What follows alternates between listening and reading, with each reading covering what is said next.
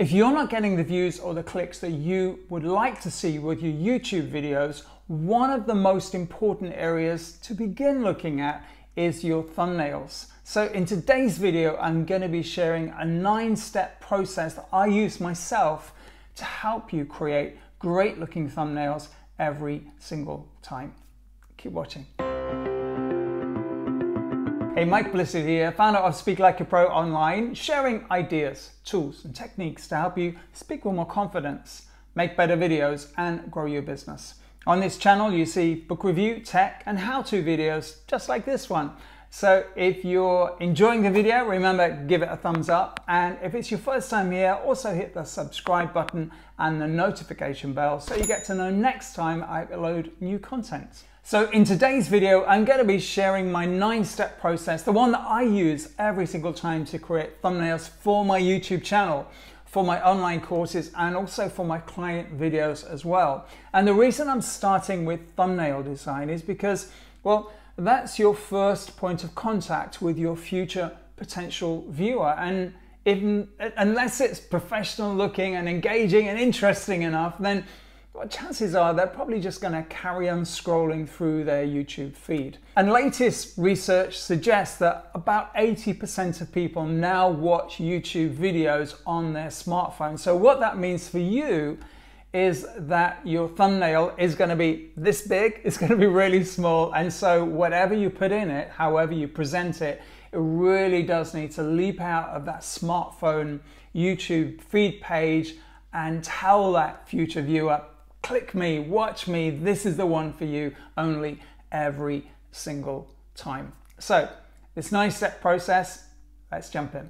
Step number one is to remember to take some pictures either just before or just after you have recorded your video. And the reason for that is that you're probably going to be in the same gear, the same clothes, you're going to be looking the same way, probably the same hair, and you're going to be in the same zone either having just recorded or about to record your video. And so when somebody sees that image in your thumbnail, they can make a call on it, whether it's something that is interesting for them and whether they will click on it or not. So it's really important to take those pictures. I took a bunch of them just before I uh, filmed this video as well, uh, so that I can then create an image for this video. Step number two is to decide if you are going to use the natural background of your image. You can see I'm at home now and I've got some pictures and plants in the background here. Or if you want to remove that uh, background and just use the image of you. If you do, there is some free software that you can use to do that and it's a really a great quality image as well. So the website is called remove.bg and I'll leave the link just below this video so you can check that out afterwards. So remove.bg, just put that in your uh, browser and, and you go there. You just click upload image and then it asks you for some reason again and then you find the image that you've stored on your computer or one of the pictures you've taken and you can see it automatically removes the background. So here's the original, the one that I'm going to use here and then to remove the background you just click remove background and guess what? It's gone. And you can see the lines around the image of me are, are, pretty clear and that checkered background just means that it's a transparent background. So if you want to download the HD version maybe for an ebook or a poster you would subscribe for that.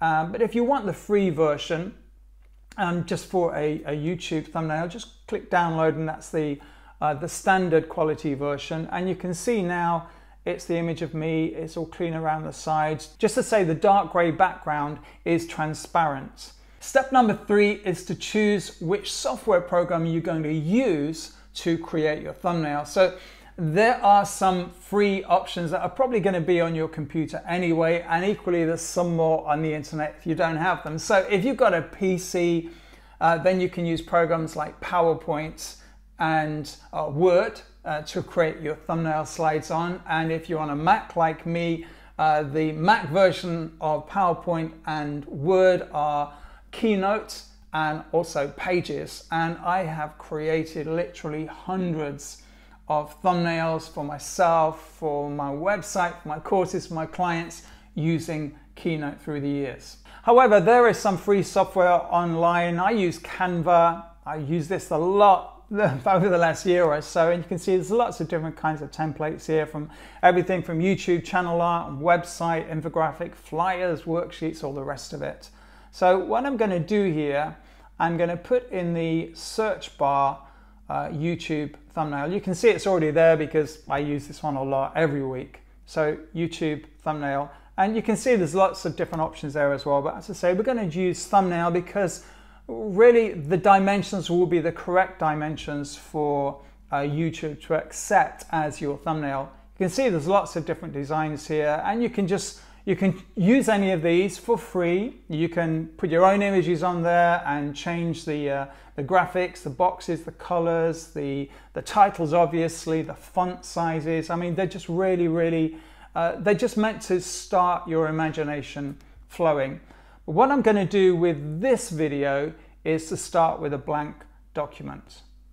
And just to say, if you are enjoying this video, if you're getting value from it, then remember to hit the like button. And if it's your first time here, also hit the subscribe and notification bell so you get to know next time I upload a new video. So step number five is to upload your picture. So you just click on the left-hand toolbar, upload and upload media, and you can see you can upload it from Facebook or Instagram, Dropbox, wherever it is on if it's stored there. Equally, I've saved my picture on my computer. So let's go to probably, uh, there we go, downloads. And you remember I downloaded it from remove.bg. So I click the image and it imports pretty damn quickly, depending on how quick the internet is working today. Perfect. And then just click on that and it will appear in the there we go, in the main panel. And you can see now it's not a black background anymore because it was always meant to be transparent. So now you can see it's just a white background, but it's a sharp image of me. So you can drag it around, you can make the image bigger or smaller, whatever you want to do with the little lines or bubbles on, uh, on each corner as well. And just get the size and initial position. I'm sure we're gonna move this around as we go through that as well. Okay, step number six is to, uh, to begin adding a text box on the title. So just click elements and you can see there are some free options here and you can use them. Equally, there are some options here that have um, a crown on them and when you hover over the crown it says Pro. That just means that it's the paid for version you'd need to subscribe to be able to use those images. But there's so many images there if you just want the free version and all right, so one of the ideas that I like to use is something called brush. So it's basically a brush stroke. And you can see there's lots and lots of ideas of brush strokes and wavy lines that are hope, um, probably made by brushes here as well. You can see there's, there's crowns against some of them. So they're the paid for versions. You need to uh, subscribe for that. Um, but there's lots of free ones as well. So I'm going to choose one. Let's find one to choose. Probably that one. Okay, great. So I'm not sure about the color but or the size, but we can change all that. So let's just drag that corner and make it bigger. That's good. So we're going to put some text on this in a moment. So let's just make that a little bit bigger. And you can see now it's in front of uh, me. So again, just click uh, where it says position at the top there. Click forward and it brings my image forward. So now I'm in front of this uh, image of the brushstrokes I just imported. Okay. Right, so I think we'll probably change that color. So just highlight that and you can see there's a box at the top of the screen. It's got the color in it. It's just, you can play with the color. So let's make it red. For now, it might change as we go along and see how it all fits together. All right, so then we need to put some text on it. So then you, on the left-hand uh, toolbar, click text. So uh, let's look uh, to see which one uh, works. And you can see there's lots of different uh, ideas here, and I think most of these are free actually. And of course, you can change the words, you can change the colors and, and the size of, of it as well. Uh, let's use this one, level up. Looks pretty cool. Wrong color, wrong words, obviously, but uh, let's say you can see at the top of the screen it says uh, this is the font HK Modular and it's 138 size font. So let's make that smaller, let's make that 50 and equally let's just double click over the word up and make that a smaller. It's 250 at the moment, way too big. Let's make it 100. Okay, so already it's a better size. Okay, so let's start putting the, uh, the name in of the, uh, the thumbnail. Now it doesn't have to be the exact name of your uh, video because you don't have enough space for that, but you can just put the keywords in that is going to encourage people to click. So I'm going to use this thumbnail tutorial. I might change that a little bit in a while, just see how, it all fits together. Let's make a tutorial a little bit smaller, and that's 50 as well now. And then equally drag that box and make that a little bit smaller. Perfect. That's good. Okay, so now you can see we're starting to create this, uh, this what will be a thumbnail.